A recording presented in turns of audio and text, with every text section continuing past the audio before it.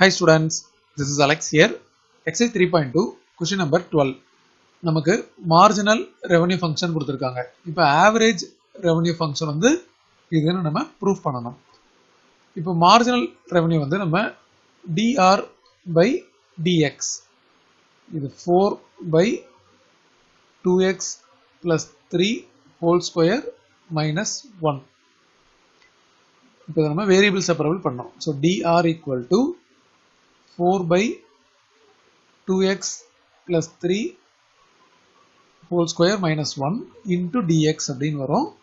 இதை நம்ம ரெண்டு சைடும் இன்டெக்ரல் சைன் போட போகிறோம் இப்போ இது வந்து r equal to. இந்த பவர் வந்து மேலே வந்தால் மைனஸ் டூ அப்போ நம்ம இன்டகிரேட் பண்ணும்போது இந்த ஃபோர் தனியாக வச்சுட்டு two X plus three whole power minus two plus one அப்படின்னு போடுவோம்.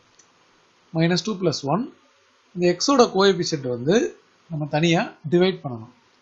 ஸோ பை டூ அதுக்கப்புறம் மைனஸ் ஒன்று இருக்குது அது வந்து மைனஸ் எக்ஸ் அதோட ஒரு கான்ஸ்டன்ட் கே வரும். இப்போ இதை நம்ம கேன்சல் பண்ணிடலாம்.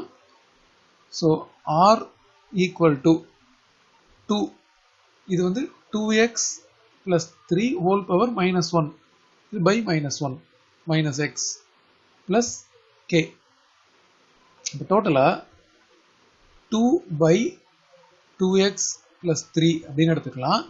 இந்த மைனஸ் சைன் மேலே இருக்கும்.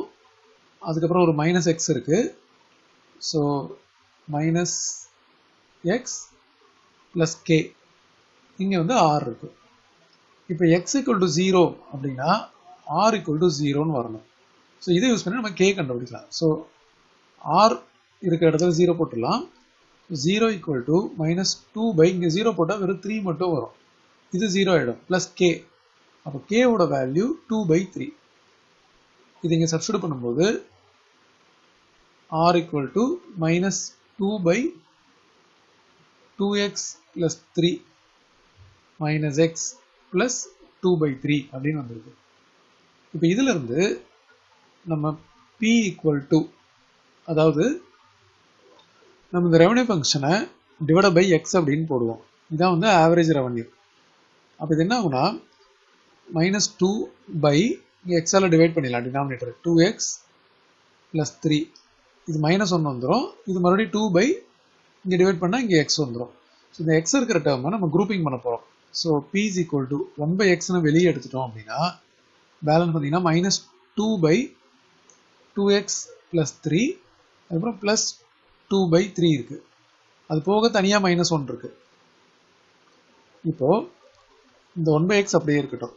இங்கே எல்சிஎம் எடுக்கும்போது two x plus three into three அப்படின்னு வரும். ஸோ இந்த நம்பர் வந்து இந்த டேர்மோட மல்டிப்ளை ஆகும். மைனஸ் டூவோட மல்டிப்ளை ஆகும். அப்போ மைனஸ் சிக்ஸ் அதே மாதிரி இந்த டூ எக்ஸ் ப்ளஸ் த்ரீ வந்து டூவோட மல்டிப்ளை ஆகும். அப்போது plus four X plus six இது ரெண்டும் கேன்சல் ஆகிடும் இது ப்ராக்கெட் இருக்குது மைனஸ் ஒன்று இருக்குது இந்த எக்ஸும் கட் பண்ணிடலாம். அப்போ டோட்டலாக நமக்கு ரிமைனிங் இருக்கிறது P is equal to four by இந்த த்ரீ உள்ள மல்டிப்ளை பண்ணால் six X plus nine minus one so இந்த ஸ்டார்டிங்கில் ப்ரூவ் தட் அப்படின்னு கொடுத்துருந்தாங்க இல்லையா? ஸோ இந்த இடத்துல பிசிக்கு four by six X plus nine minus one so four by six X plus nine minus one அப்படின்ற டேர்ம் கிடச்சிருச்சு.